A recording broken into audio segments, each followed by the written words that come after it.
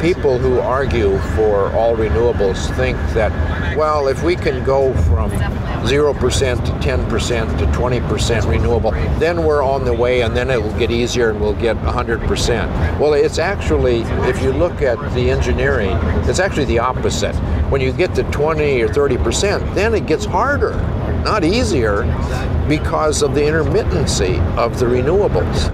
We have to phase out carbon emissions at a rate of several percent a year. I don't see any way we can do that without the help of uh, nuclear power. Nuclear power is essentially carbon free energy.